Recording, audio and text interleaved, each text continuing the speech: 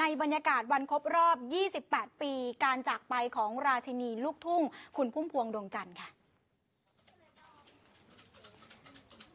สลักจิตดวงจันทร์นักร้องและน้องสาวของพุ่มพวงดวงจันทร์นำทีมงานช่างไปแต่งหน้าให้กับหุ่นแม่พึ่ง หรือว่าพุ่มพวงดวงจันทร์ ราชินีลูกทุ่ง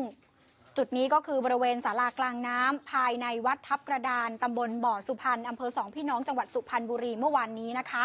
โดยมีนักร้องชื่อดังอย่างเปาเปาวลี จอมขวัญกัลยาและอีกหลายท่าน ไปช่วยกันร่วมจัดดอกไม้ เนื่องในวันครบรอบ 28 ปี การจากไปของพุ่มพวงดวงจันทร์ค่ะ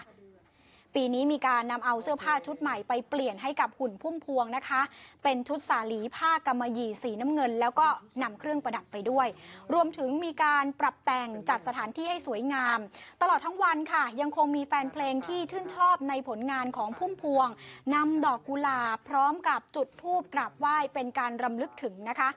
พระอธิการประสงค์ คุณากโรเจ้าอาวาสวัดทับกระดานท่านบอกว่า ทางวัดจะจัดให้มีการทำพิธีทำบุญอุทิศส่วนกุศล ให้กับอดีตราชินีเพลงลูกทุ่ง ที่บริเวณศาลาวัดนะคะ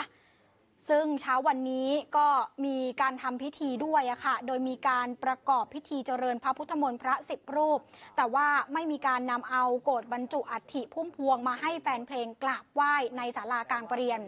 เหมือนกับทุกปีที่ผ่านมาลดการรวมตัวกันนะคะ ส่วนการแสดงมหรสพต่างๆ และการแสดงมหกรรมคอนเสิร์ตของเหล่าดาราศิลปินนักร้องลูกทุ่งครับในสังกัดค่ายเพลงยักษ์ใหญ่และค่ายเพลงดังต่างๆต้องของงดจัดไปก่อน เป็นไปตามนโยบายของรัฐในการป้องกันโควิด -19 ค่ะ